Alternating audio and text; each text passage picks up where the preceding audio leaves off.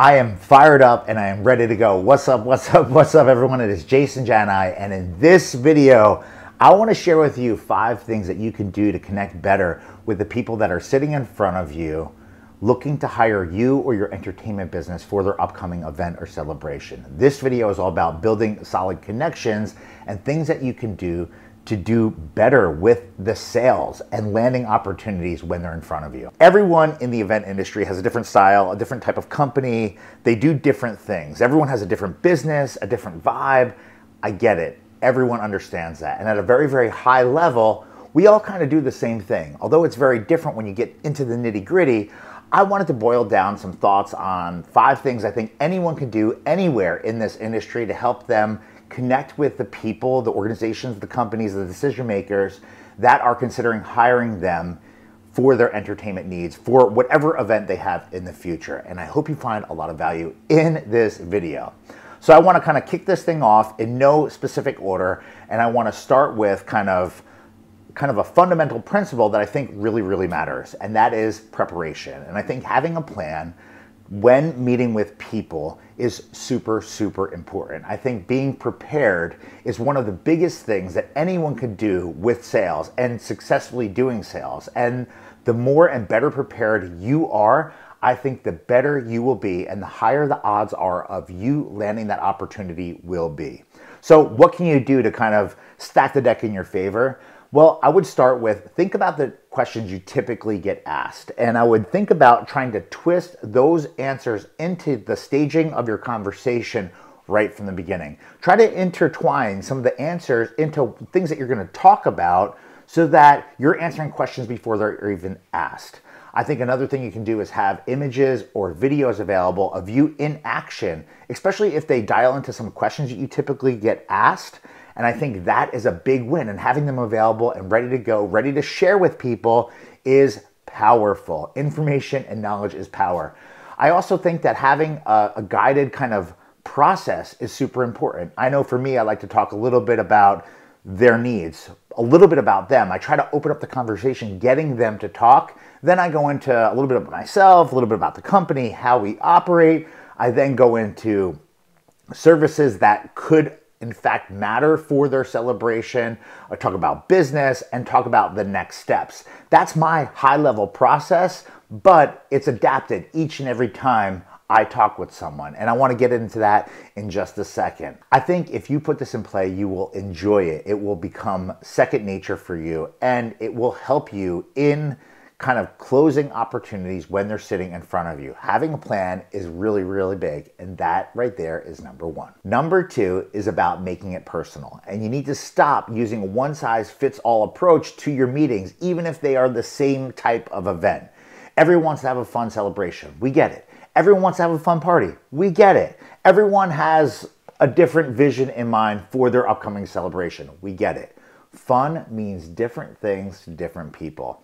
So it is super, super, super important that you try not to force the round peg into the square hole with your process and the way you are talking to people. I think it is important to be personal and to be flexible and to be accommodating and to be open to doing things differently. I want to use this analogy to kind of summarize this. Think of it this way. If you're talking to a 25 year old couple that's never planned a wedding before in their lives, that everything is super overwhelming to them, that's one thing. You're going to talk to that couple very different than a couple that might be in their late 40s that already have kids, they've already been married, and they're getting remarried. Um, you're going to talk to them very different as well.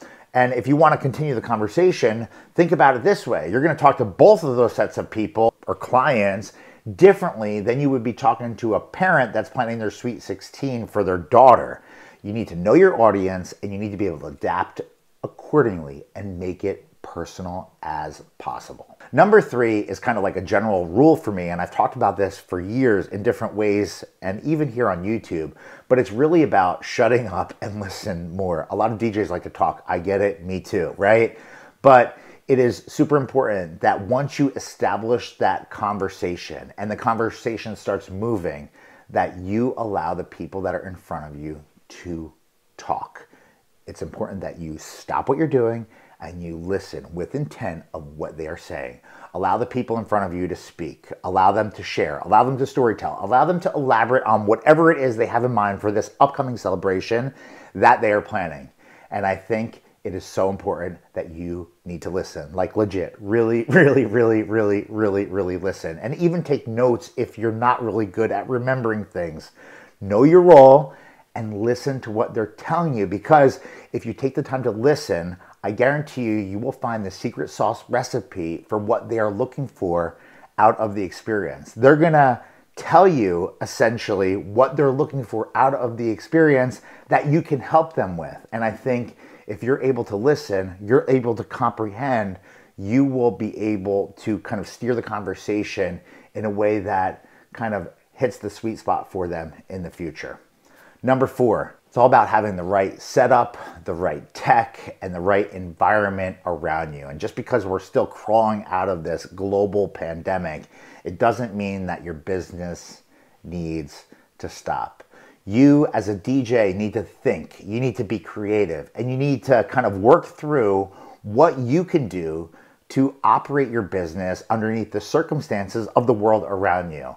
And if you're not able to meet with people in person for whatever reason, think outside of what the past was and think of how you can use the tools that are available to you to slam dunk these meetings, even if they are virtual. Think of um, the processes of how you like to do things in the past and try to find tools to allow you to conduct business and to build from there in the same way. I use tools like Zoom and Ecamm and um, I use a series of, of cameras and lighting and, and microphones so that the tech side of my meetings and my um, my virtual sessions and whatever are super professional looking and they look really good. And by the way, I have a series of videos on the tech side of doing virtual meetings on my personal YouTube channel, and I'd love to invite you to check them all out if you'd like to get further into this kind of topic and kind of get into the rabbit hole. But from staging to lighting to software to kind of cleaning up your office, I offer a ton of stuff on YouTube, and I think it is an important part of kind of business these days.